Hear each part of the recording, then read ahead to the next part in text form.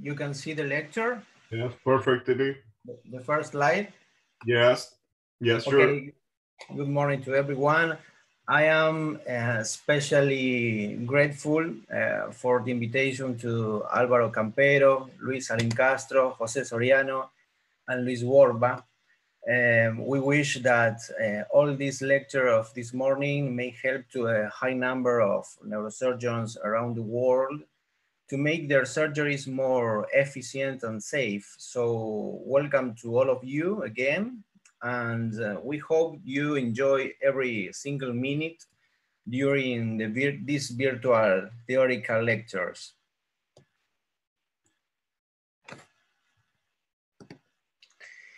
The study of the relationship of the brain gyrus and sulcus with the cranial surface has allowed the creation of a topographic guide for neurosurgeons. Uh, Professor Ribas uh, did an interesting study about it. And uh, our team believes that uh, future trends will be based on related, relating white matter tracts with craniometric uh, points and cranial windows, which will be very um, very useful for glioma and epilepsy surgery, for example.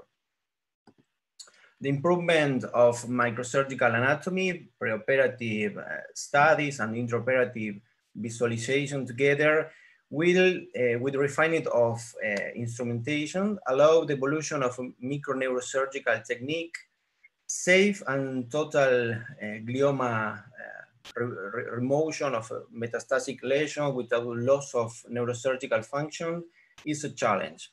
Basic glioma uh, sur surgical strategies need to be based on the deep and precise uh, knowledge of the cortical brain anatomy and deep uh, white matter white matter fibers. In this first lecture, we will try to describe the, the general architecture of the, of the cortical uh, structure of, of the brain. We need to remember that the cerebral cortex uh, is located one third over the gyral cortex. And we don't uh, have to forget the cortex located on the deep uh, surface of the sulcus of the lateral basal and medial surface of the brain. 20% of this cortical uh, anatomy that we will describe now is uh, eloquent cortical surface and 80% is no, non-eloquent surface uh, or association cortical areas. An interesting book that I strongly su suggest to the residents uh, of neurosurgery and neuroimaging too uh, is this one, uh, The Atlas of Cerebral Sulci, written by Michio Ono, is for me one of the best book for study the, the, the cortical structure of, of, of, the brain. We publicate an, a paper with our team in the University of Buenos Aires uh, that the name is Hidden Anatomy of Intrasulcus Cerebral Cortex. This paper was published two years ago uh, in our Argentinian uh, anatomy journal. And I strongly suggest uh, this paper if some Spanish uh, speakers uh, want to, to read.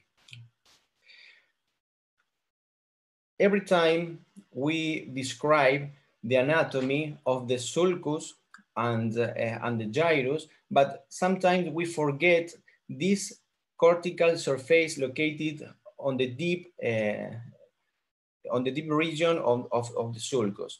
If we split a simple sulcus, for example, the superior frontal sulcus, we will find intragyrus sulcus, uh, intragyrus, uh, intragyral cortex inside of the sulcus.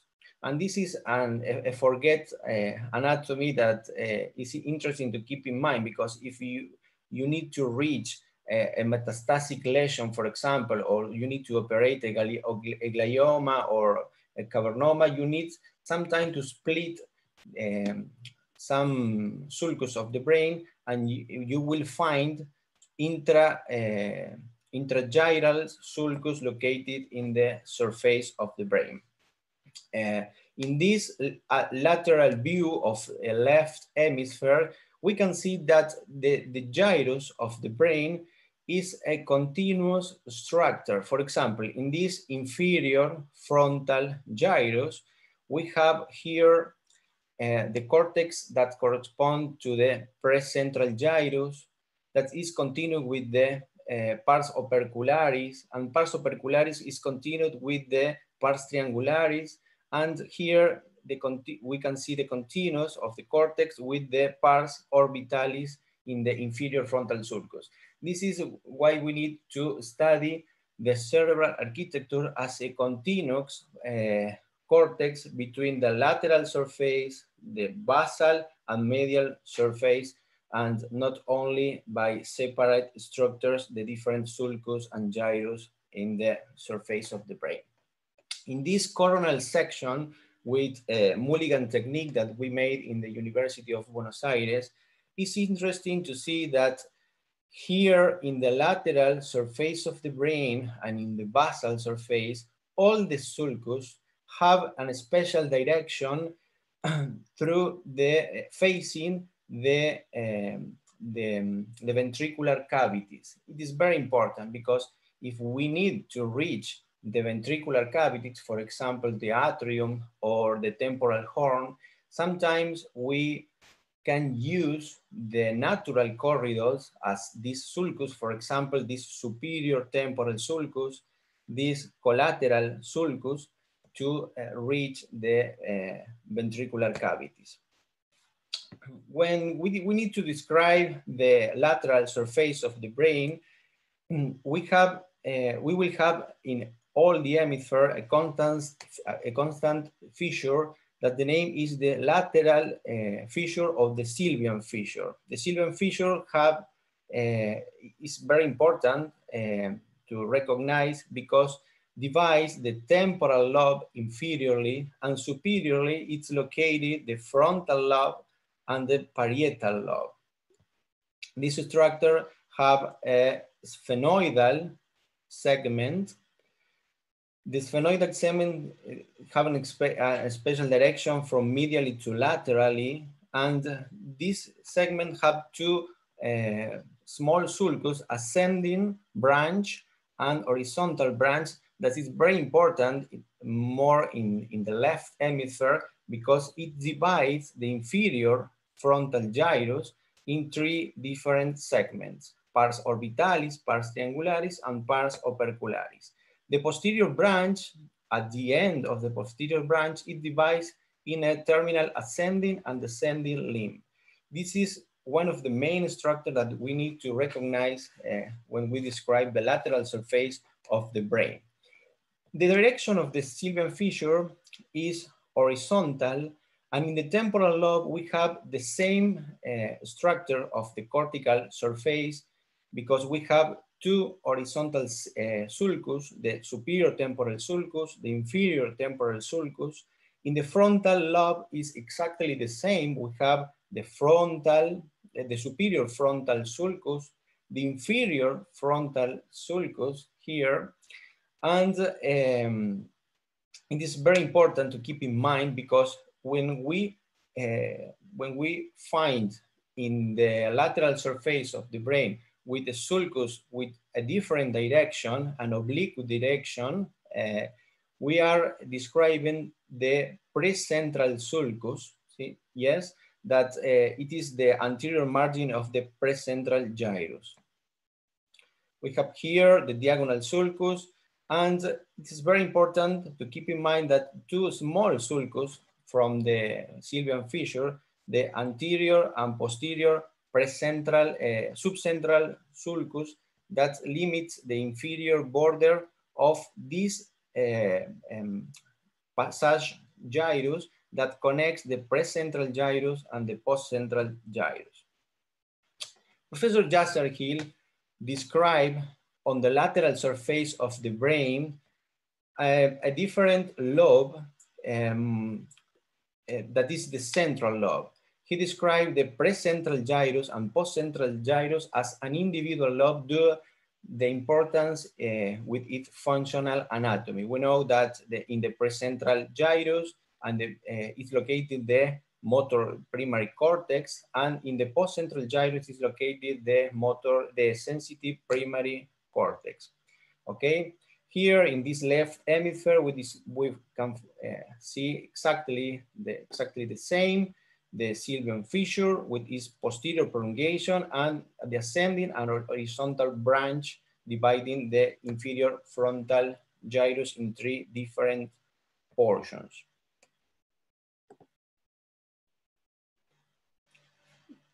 Another sulcus on the lateral surface of the brain that we need, to, uh, to recognize is this one with, um, with a vertical and oblique direction that is the central sulcus. Anteriorly and posteriorly, we have the development of the cortical architecture of the central lobe that uh, Professor Yasargil described as an individual lobe where and this, uh, the importance of, the, of this cerebral cortex. The, limited by the precentral and posterior uh, central uh, sulcus. We have here in green the superior frontal sulcus and inferior frontal sulcus, sometimes um, we can find between these sulcus an intermediate sulcus that divides this gyrus into segment in two different segments. These two sulcus divide the frontal lobe in front, superior frontal gyrus, inferior uh, medial frontal gyrus, and inferior frontal gyrus. The most complex of these three gyrus is the inferior frontal gyrus and is eloquent in, in, in, the posterior segment in the left hemisphere because the Broca's area is located in the posterior part of the triangular, uh, the pars triangularis, sorry, and the anterior segment of the pars opercularis. Here in the temporal lobe, we can find the superior temporal gyrus and, uh, sorry, uh, inferior, superior temporal sulcus, and inferior temporal sulcus. Generally, the inferior temporal sulcus is not a continuous sulcus, it's interrupted. It's very frequently to find it interrupted, but not with the superior temporal sulcus.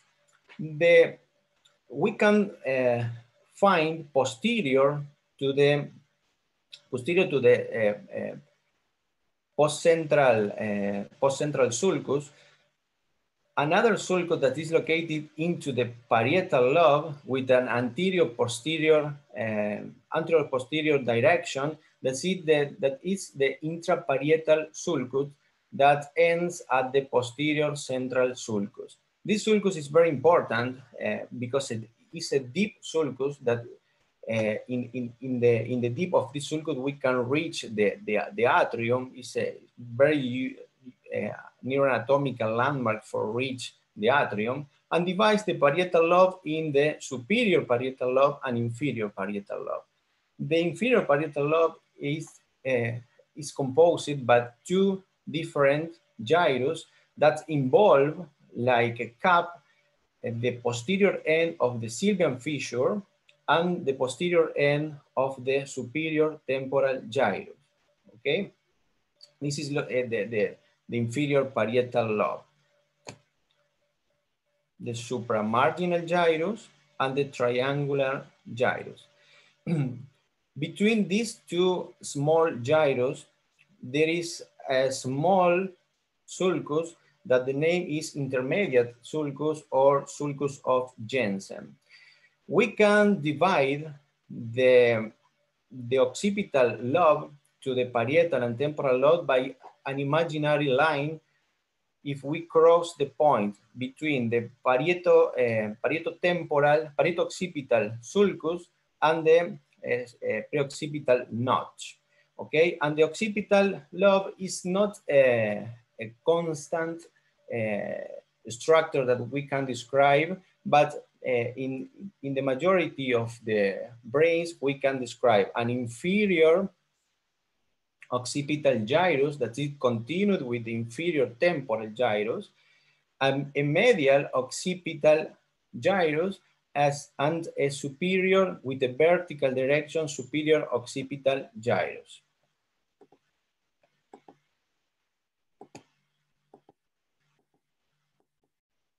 Okay, In this left hemisphere, we can describe the, the, Bro the, the Brodmann area, 44 and 45, um, is very important because it's the Broca's area. And these areas uh, are represented in the anterior segment of the pars opercularis and posterior segment of the pars triangularis. It's very important because it's eloquence. And of course, in the precentral gyrus, the area, the four area of Brodmann or mot, uh, primary uh, motor cortex, okay? In front of this one, we have the, the, the, the sixth area of Brodmann, that is the supplementary uh, motor area. As we can, we can see in these beautiful sculptures uh, from a beautiful museum from Me Mexico, from Mexico City, uh, where it's represented the different segments of the, of the, um, of the, of the body uh, if we can put the portions uh, which our brain represents in the extension of our cortex. In this lateral view of this uh, left hemisphere, we can see the, the market in red, the, the, area one, two, and three of Brodmann representing the primary sensitive area of the lateral surface of the brain. Splitting the lateral fissure, we can observe a deep area located uh, um, in, in, the deep uh, sylvian fissure that is the insular lobe. The insular lobe is a complex start, uh, structure, is the external, the external capsule of the central core of the brain, and it's covered one the, the, inferior portion by the temporal lobe and the two-third portions uh, through the uh, frontal and parietal lobe. Okay, and this segment of the temporal, parietal, and frontal lobe is are called uh, operculums. Okay, the insula is limited by the uh, limited, limited sulcus of the insula that we have an anterior portion, superior portion, and inferior portion, okay? It, uh, starting with, uh, from the apex of the insula, we can find three or four short gyrus and uh, in the posterior portion of the insula, generally we can see, we can observe two long gyrus. And between this one, we have the central sulcus of the insula that correspond to the central sulcus of the lateral surface of the brain. An important sulcus that we can find uh, splitting the, the sylvian fissure is this anterior temporal transverse gyrus uh, that correspond to the area 41 and 42 of the Brodmann, and uh, is, the name is the, the gyrus of, uh, of uh, Heschl. Okay. It's important to know that um, the, in, in, the, in the frontal and parietal operculum, we have the subtriangular uh, gyrus, the subopercular gyrus, the subprecentral, sub, sub, uh, subcentral gyrus, and anterior, medial, and posterior parietal gyrus that correspond, uh, that are facing the anterior, medial, and posterior temporal transverse gyrus uh, of the superior surface of the temporal lobe. Okay, facing this beautiful dissection from the superior surface of the brain, we can observe that the insula is covering the central core of the brain. This is another chapter, and Professor Riva will speak about it uh, some some some uh, hours uh, in, in, some hours. but the insula is covering the central core, and we have an anterior portion of the insula that covered from the foramen of Monro uh, behind, and um, posteriorly to the foramen of Monro, the posterior part of the insula are, is covering this segment, okay? With the head of the caudate nucleus and here the, the, the thalamus. Facing the superior uh, surface of the brain, we can observe that the direction of the sulcus of the frontal lobe in this part are anterior, anterior posterior, and in this segment corresponding to the central lobe of the brain, the direction is oblique. Here we can observe the central sulcus of the brain forming a special feature that uh, is very important for neuro, neuroradiologists, uh, this, uh, this uh, special shape that the central sulcus can be seen here in the MRI. And here we can observe the central sulcus introducing into the sylvian fissure and forming the paracentral lobule in the uh, medial surface of the brain. As we can see here, not everything is so, uh, so simple.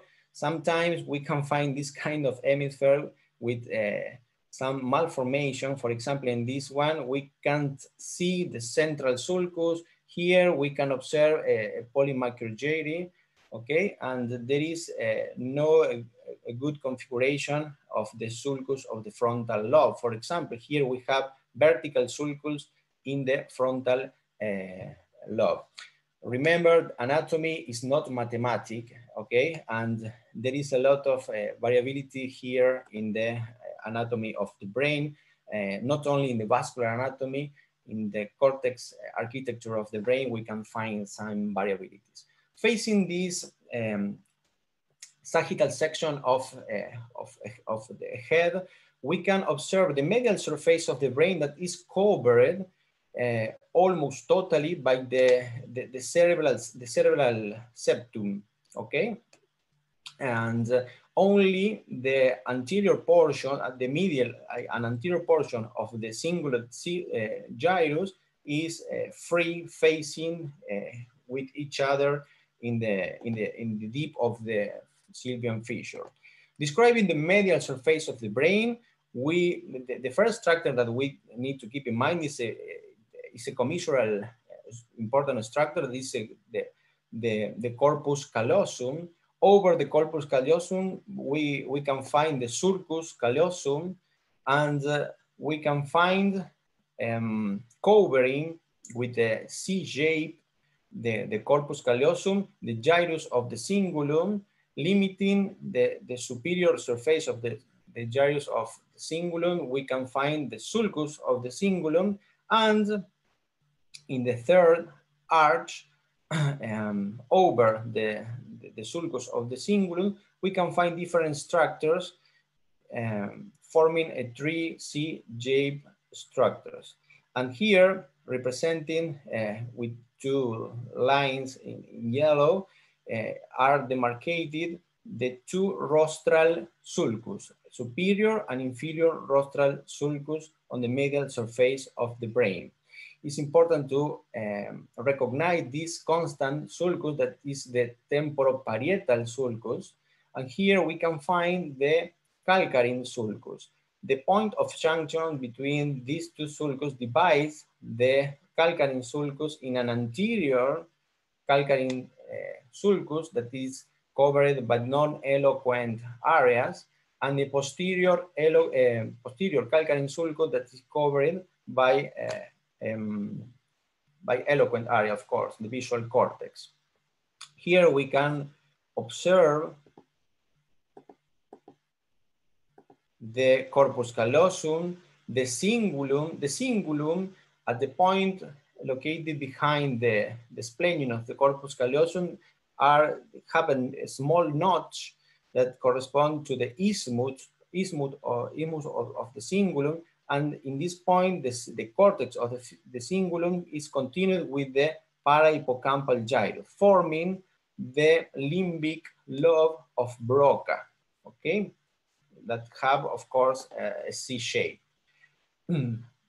the third arc that we can find in the, in the medial surface of the brain is uh, the medial surface of the frontal gyrus of the, of the superior frontal gyrus. Sorry, some authors describe this surface of the, of, of the brain, this, this cortex, as medial frontal uh, gyrus, but it's not correct. It's the medial surface of the superior frontal gyrus.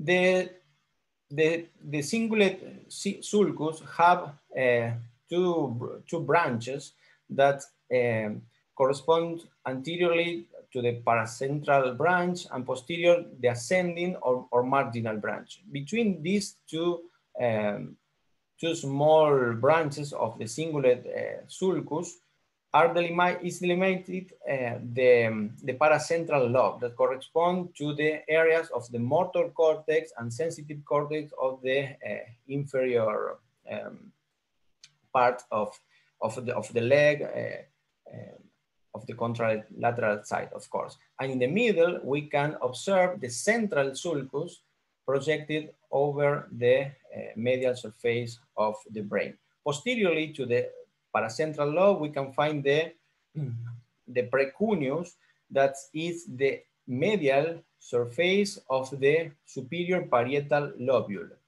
And posteriorly, between the parieto-occipital sulcus and calcarine sulcus, we can observe the cuneus, uh, the cuneus lobe.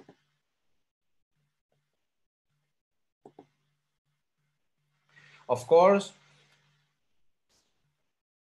superiorly and inferiorly to the calcarine sulcus, we can find the 17, 18, and 19 areas of Brodmann corresponding to the visual cortex uh, located over the uh, medial surface of the, of the brain.